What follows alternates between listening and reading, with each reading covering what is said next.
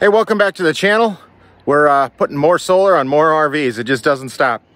Uh, today, I want to talk about putting 800 watts onto a outdoors RV. I want to say it's, uh, it's, I think it's pretty sure it's less than 30 feet, more than 20 feet, somewhere in there. Uh, it's probably in the description. It's probably why you clicked on this video or part of the reason why. Uh, I want to talk about why we chose the panels we chose, why we chose the configuration we chose, and how we all hooked it up and how it ends up uh, working in the system. Now, the other thing I want to mention is uh, this system is one that uh, a previous owner had already put together, so it does have a Victron inverter and a couple other components, so we're going to be tapping into that, which is a little bit challenging because it's not necessarily the way we do it. And one of the things I talked with a customer about was uh, there's a lot of different ways to do it. Uh, I don't see anything in there, and you'll see it later, that is wrong. It's just different, and that's okay. So uh, let's talk about the panels here. Uh, we're putting four panels on here for 800 watts. Just finished up screwing them down. They're all wired up. Everything's good to go there. Um, and what I ended up doing was, believe it or not, we put them all in parallel. Okay, and uh, we do have some smaller wires here than what you might see for doing a parallel system, but uh, there is a method to our madness that we have.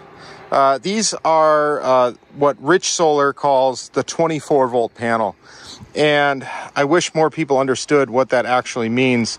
Uh, sometimes you think, well, 24 volt panel, you should use that for a 24 volt system. No, that's not the case. All that has to do with is the voltage they run at. And to confuse you even more, on a 24 volt panel, guess what the voltage is? It's about 45 volts. Anywhere from 45 to 35 is where it ends up running. And that's why we can run them all in parallel. And we'll talk about why we're doing that. Uh, but we end up maxing out somewhere around 20 amps uh, of flowing through the, uh, the wires here. So that's plenty good for 10 gauge wire. So we can get away with using just one of those ports there without a problem. Uh, why are we doing them in parallel? Well, the issue is uh, this is a curved roof, as you can tell.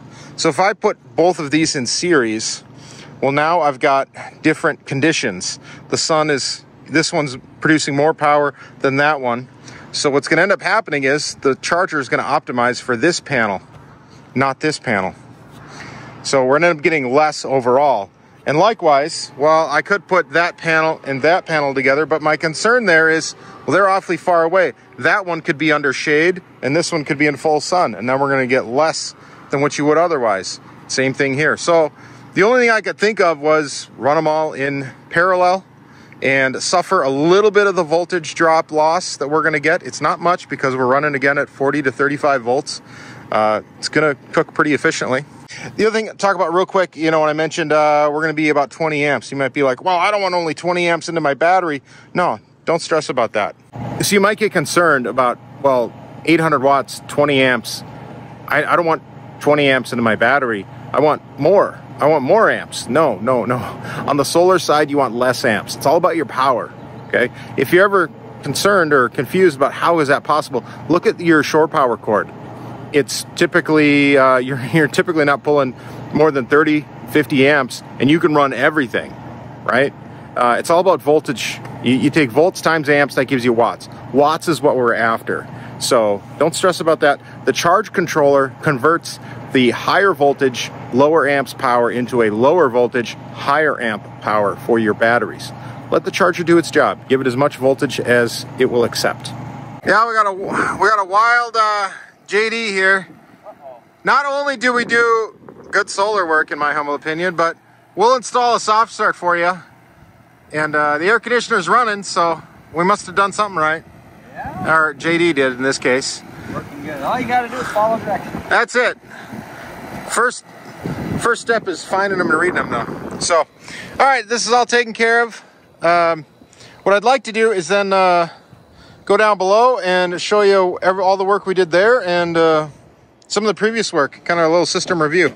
All right, so we're in the bed back bedroom here and uh, behind this cabinet above the bed, there's an access hole up there. And that's where you'll find these sets of wires. You got a black and blue and a white and red.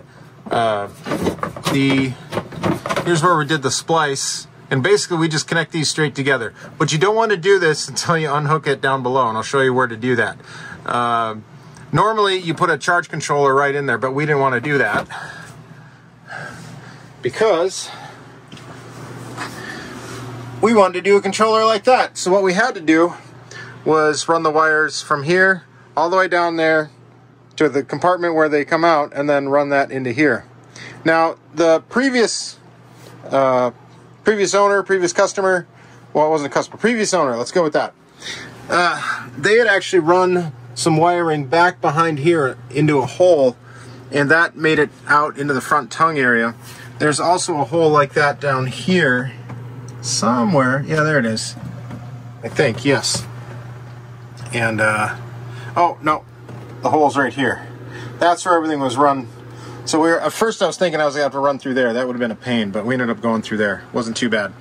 And what we ended up doing was actually taking the negative from the alternator charging system that the person had hooked up, and we pulled that wire through with the solar wire attached to it, and then uh, pulled some extra through, and then pulled the alternator cable right back through. So we kind of used the existing cable as a pull wire, or pull string. That worked out really well. That was JD's idea.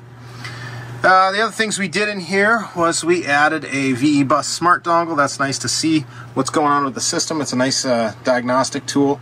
And of course we added the 150 by 70 charge controller and a breaker so the customer can turn off the solar and it protects everything nicely. Uh, we also have a DC breaker there so that system is protected. The initial plan was to actually put a Lynx distributor here, but as you can tell, there's a lot going on and it's all done very well to be honest.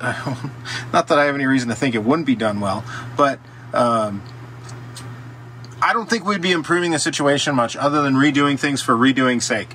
And it doesn't make sense to do that, in my humble opinion. So we leveraged what was there, tied into it. Uh, we got a nice big Class T fuse there, um, good switches. Um, you know, we don't use these quite so much anymore because we were finding in some instances they were still burning up. Uh, if, like if you're running an air conditioner for four or five hours at a time. Uh, but with the amount of battery that this customer has, they were likely not going to be doing that. Uh, maybe, you know, two, three hours if you got good sun, maybe longer is the most you're probably going to get out of it. Customers using these uh, Lion Energy Safari batteries, these were really hot a couple of years ago. We don't see them nearly as much anymore, and I'll tell you why. Uh, biggest reason is probably just they're not efficient on space you can get so much more storage capacity. There we go. In about the same footprint. I would say today I could probably fit easily six to 800 amp hours of battery in the same footprint where we've got 420.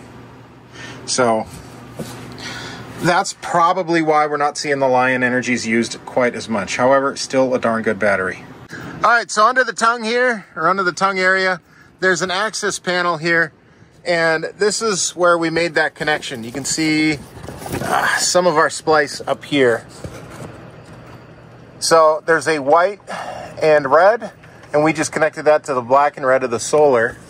And something to hopefully don't get too confused by, there is a grounding uh, bolt here.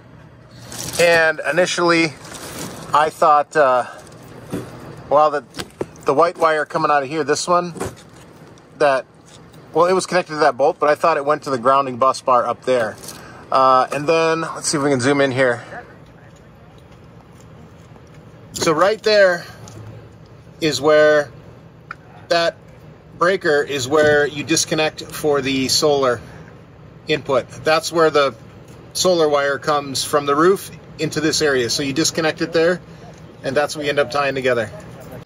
We had a lot of fun working on this outdoors RV solar upgrade. Uh, if you want a little upgrade or you want a big upgrade, check us out at sotasolar.com, S-O-T-A-S-O-L-A-R.com. If you got comments, questions, leave them down below. I'd love to hear from you. Uh, I don't know what else. Stay charged out there. Have fun.